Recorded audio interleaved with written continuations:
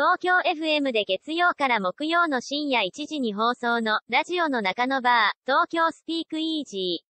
今回のお客様は、足立里香さんと生駒里奈さん。ここでは、生駒さんが乃木坂46に在籍していた当時の思い出を振り返りました。生駒、アイドル人生に後悔なし。足立、生駒って、乃木坂46に在籍していた頃はいつもネガティブなイメージがあって、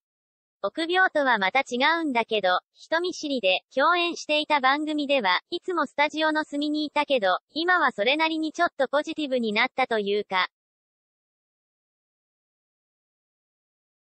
バル、イコマ、ポジティブさは出てきました。ネガティブな面がちょっとずつなくなっているかなっていうのは感じています。ただち、よかったね。結構、悩む人のイメージだった。イコマ、年齢を重ねるごとにどんどんなくなってきたので、それは良かったなって自分でも思う。ただち、確かに、柔らかくなったよね。イコマ、ひゃー、ただち、ひゃー、って、わら、イコマ、わら、でも、こうやって自分の歴史を見てくれているお姉さんがいるっていうのが嬉しいです。バル、ただち、だって、乃木坂46のライブもいっぱい見に行ったしさ。イコマ、リカさんが来てくれる、って聞くだけで、安心したしパワーにもなった。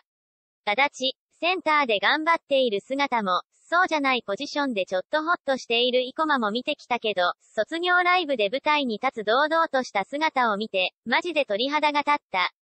イコマ、いやー、やりきっちゃった、わら、ただち、やりきれたことがあるのって、すごいことだと思う。バル、イコマ、人生において、やりきる、っていうことはなかなかないけど、アイドルはやりきったと思えるから、本当にいいアイドル人生だったなって。それをちゃんとリカさんにも見ていただけて、嬉しかったな。ただち、後悔とかも全くない。イコマ、全くない。よく、もう一回、センターをやりたいですか？って聞かれるけど、お腹いっぱいです。って、わら。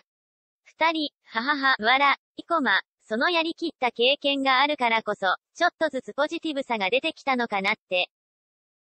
バル、今は舞台や映像でお芝居をやらせていただいていますが、落ち込むこともあるけれど、その落ち込み度合いが減ったというか、一回、あれ、乃木坂46のセンターを経験しているし、大丈夫っしょ、みたいなのはあるかな。